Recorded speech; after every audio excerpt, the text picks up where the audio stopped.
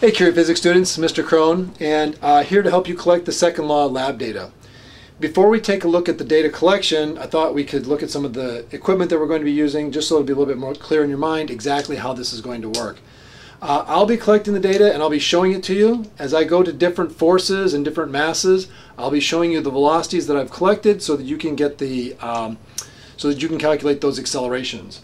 So the first, the most important part is this lab cart. Very, very low friction. I have the cart leveled really nicely. It moves very, very easily. When I give the cart a push, you can see there's not a lot of friction there. The cart is connected to a small thread, which goes through the end, and then is connected to a pulley that I'll show you in just a moment. Uh, I have three additional weights that I'll be using. There's a 20 gram mass, there's a 50 gram mass, and a 100 gram mass. These masses will hang off the thread at the other end, and that's going to allow us to apply a force to the whole system. It's really important that you understand the system is not simply the cart and the string, it's everything that's connected to that. Once I hang the masses on the other end, everybody will move together, everyone will have the same acceleration, and I'll need to count that as part of the total mass. So the way we'll get the velocity of this thing is that I have a small piece of cardboard taped to the end of the, of the cart, and then I have photo gates on the other side. Let me pull you in just a little closer so you can see it more clearly. So the lab cart, I will have weights sitting on top. All three of these weights will sit on top of here. Whenever they're not on the string, they have to sit on the cart because they're going to be part of our total mass. So we'll have the cart, which I've already weighed, and I'll give you the mass of that in just a moment, plus the three masses, 20 grams, 50 grams, and 100 grams. Over on this side, we have the photo gates. So they'll be sitting right here. That allows them so that I can set them up very quickly and easily for the cart to go through, trigger the gates, I'll flip them over. I'll come over and show you the initial velocity and then I'll show you the final velocity. And those are the two that you'll need to record as we go through the data collection. Now just to be sure that the masses are really right, let me just show you real quickly. I've already tested these to make sure that the three masses that we're going to use are accurate. So we have, sorry, the 20 gram mass. This is the 20 gram mass. Put this guy on the scale. So exactly 20.0. We have a 50 gram mass. These guys look like they're really beat up, but as you can see, as weights, they work great. So exactly 50. And lastly, we have the, the 100 gram mass. You can see exactly 100 grams. Okay, so these are our three masses. They'll be sitting here on the cart.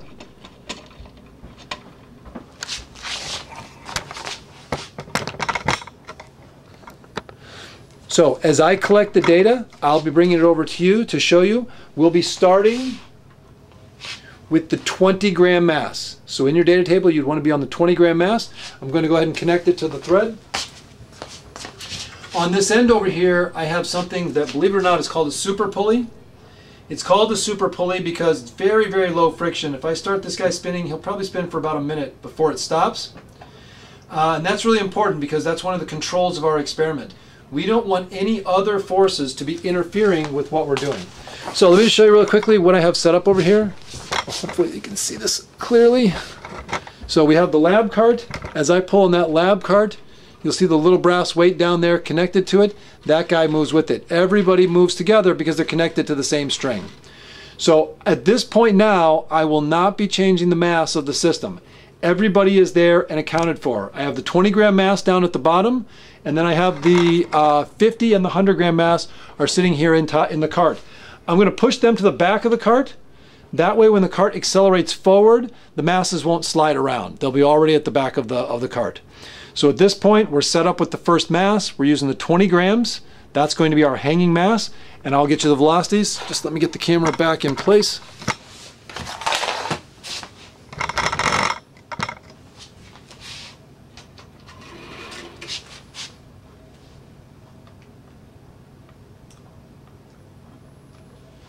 All right, and here we go.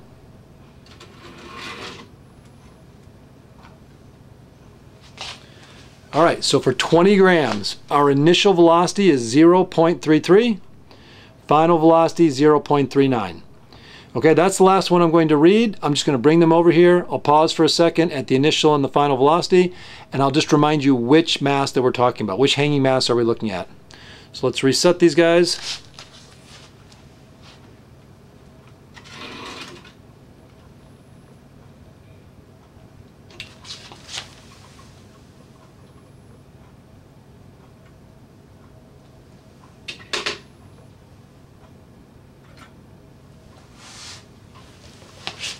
Here we go. This is for 50 grams.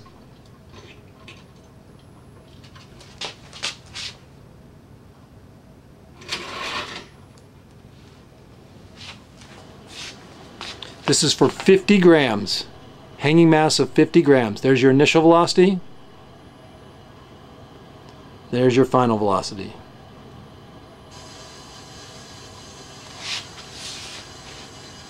Reset.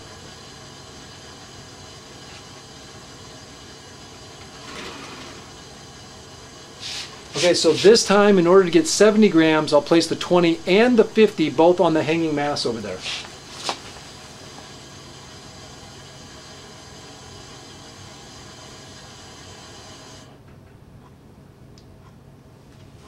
All right, so here we go for 70 grams.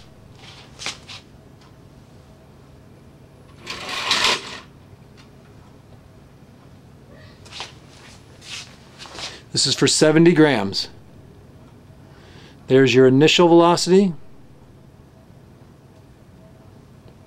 and the final velocity.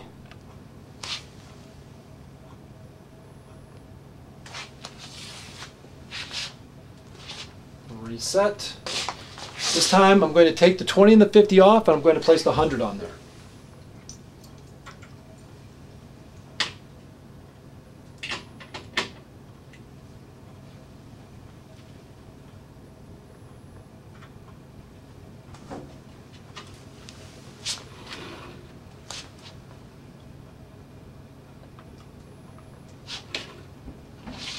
All right, this is 100 grams hanging mass.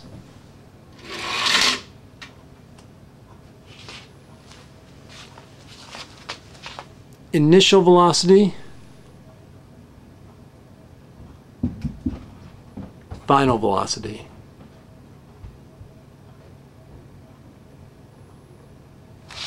All right, reset.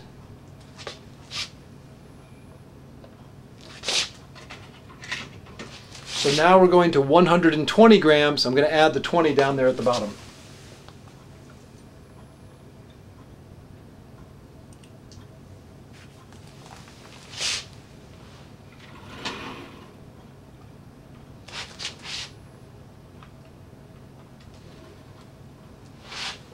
All right, here we go at 120 grams.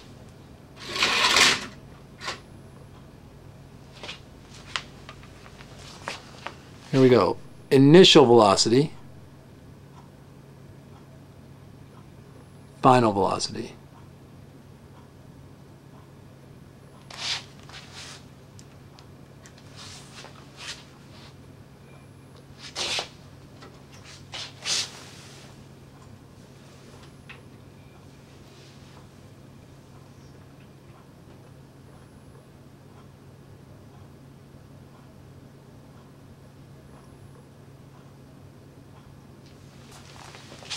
Okay, so this time I still have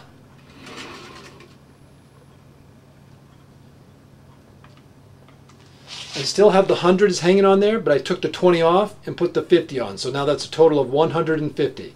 This is our second to last mass.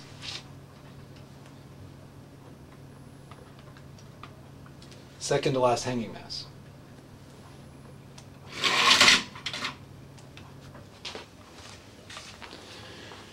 Here we go, guys. Initial velocity. This is for 150 grams hanging mass. Final velocity. 150 grams hanging mass.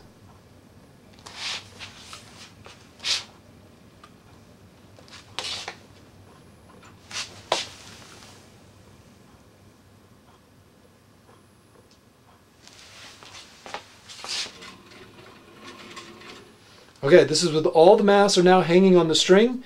We're at a total hanging mass of 170.